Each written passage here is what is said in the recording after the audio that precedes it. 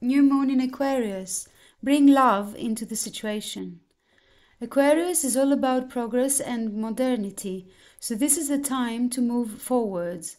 The new moon in Aquarius card means no looking back.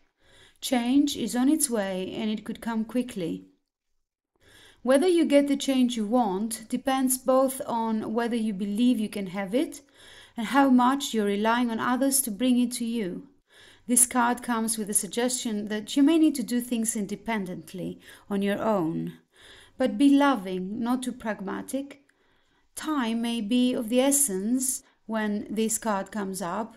Aquarius energy has an electric feel to it. Certainly, there is a sense that you need to let go of the past and move towards your future as soon as possible. Attune to the moon, explore the idea that it's not what you know, but whom you know. Additional meanings for this card. You need to be more detached from this situation. Thinking outside the box will bring the solution. More pragmatism is called for. And improve your karma by doing some charitable work. The teaching. Aquarius is the sign of invention, modern advances and technology, and humanity.